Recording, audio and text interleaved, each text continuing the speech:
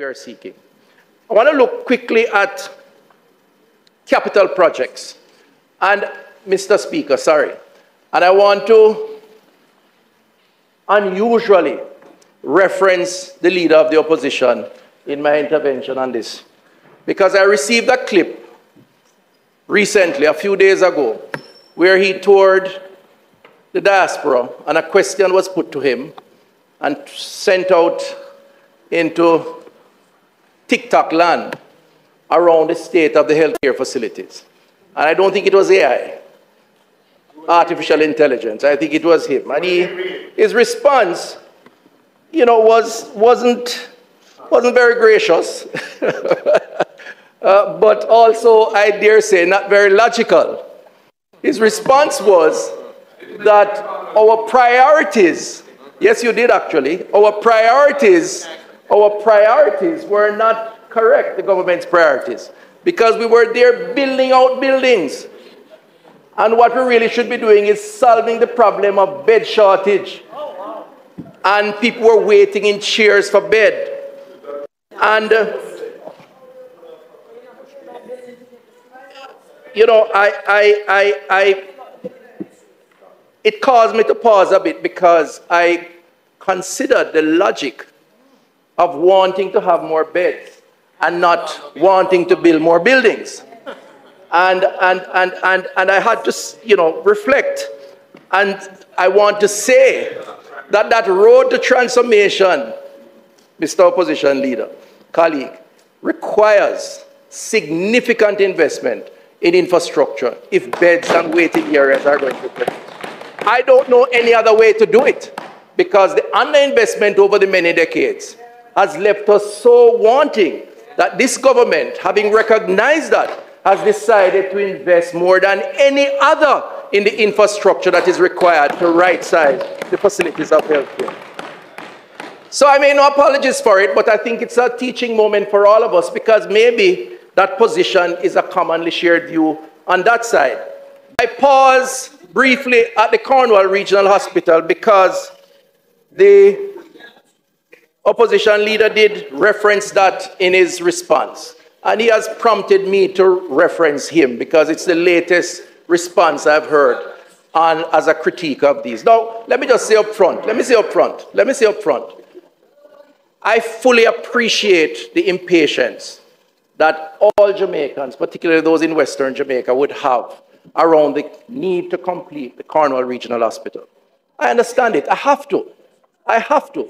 If I could wave a magic wand to make it repaired, would, but it don't work like that. The reality is that this is a facility, this is a facility that has suffered from underinvestment and maintenance over many years.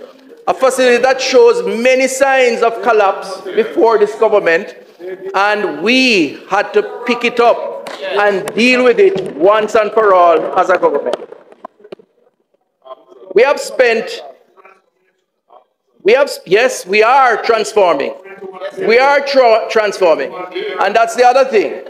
We need to, we need to, we need to clarify something, uh, Mr. Speaker, because this 21 billion is being banded about either without proper understanding of the expenditure or just an attempt of mischief making.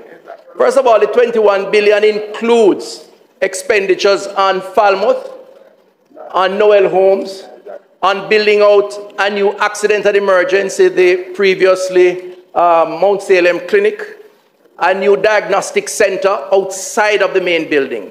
Because for those who care to know the truth, they would appreciate that we had to build a hospital around the hospital to continue the services in order to repair the main building. I want to also say something about that expenditure. There is a difference between cost overrun and rescoping of cost. Because what is being banded about as cost overrun is not cost overrun. What started as fixing a ventilation system morphed into the stripping down of a 10 story building and a replacement of every single window, every single door, every ward, every operating theater. So, in effect, what we are doing is building a brand new hospital for the people of Western. We have already spent $3.5 billion on this project. This year, we are projected to spend 5.81 billion. And that final phase that we're in, Work has now started to deal with the internals, and we will see the manifestations of that in the months to come. And Mr. Speaker, I'll say without fear or favor, I'm prepared to go in the public square and debate the case of Cornwall Regional because it is a teaching moment about what will happen if we neglect our infrastructure. But this government is the government that will fix the problem once and for all that was made in that clip in the diaspora community by the opposition leader because he, he caused me to rearrange my speech a bit to satisfy, because I think it's important. Because I think, I think when we talk to our Jamaicans, whether here or abroad, mm-hmm. while I agree with the debates and the cut and thrust of the debate, I think we have to be careful about false narratives, either through ignorance, lack of understanding, or just plain mischief. And I'm not accusing you of any one of the above. But something is wrong. Something is wrong. Something is wrong with that narrative. Because if you really want more beds and more waiting area and more doctors and more nurses, how could you not want us hiring more doctors and nurses, building more health centers, building more hospitals to provide more beds? It don't make sense. If you really want a rehabilitated Cornwall Regional Hospital rather than a band-aid quick fix measure, how could you not want us to strip down a building that was leaking, had electrical problem, had mold, and not build back a proper and new hospital? Remember I tell you, there's a difference between rescoping and cost overrun. And the mischief in your statement and statements on that side is that the impression is created that somehow what was supposed to be 3 or 4 billion almost turned 21 because somebody pocket the rest of it and gone somewhere with it. It is unfair. It is wrong. It is immoral. And it is mischief.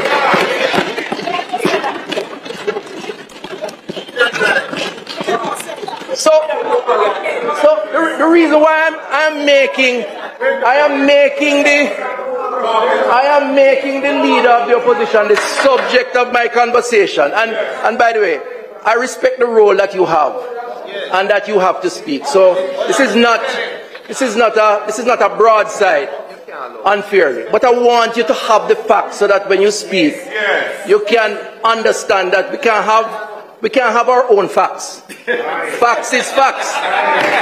That's, that's the point, right? Facts is facts. So, so I called, I, I called the team together and I said to them, I do have a red flag. A red card. I, I, I called,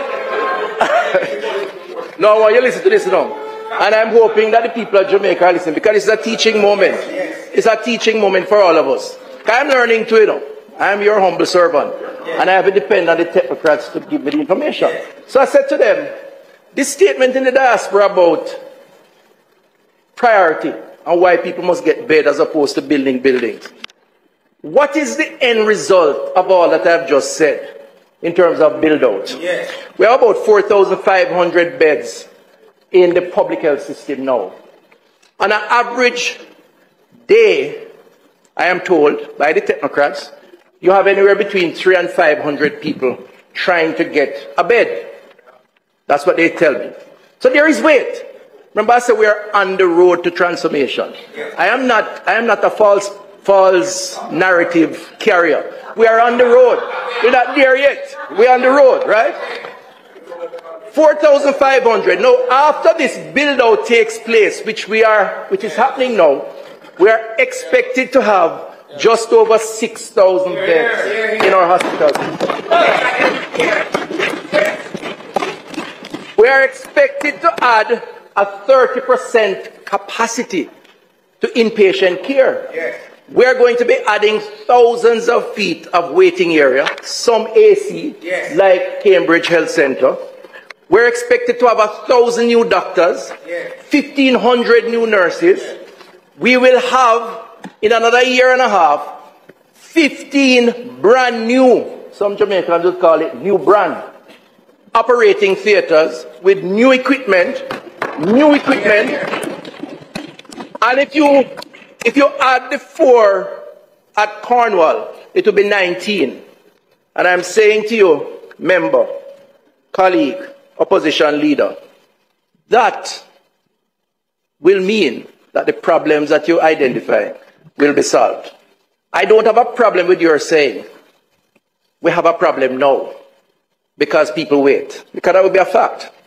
But don't say that this government has mixed priorities because our plan is very clear. The government, the Prime Minister, and my colleague are moving in the right direction. And the people of Jamaica are going to better our world.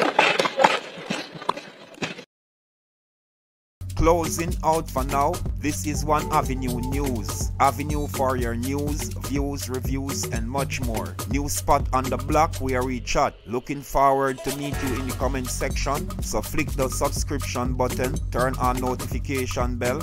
Let's journey together. And please remember, we need solution, not confusion. United we win, my people. Art of love.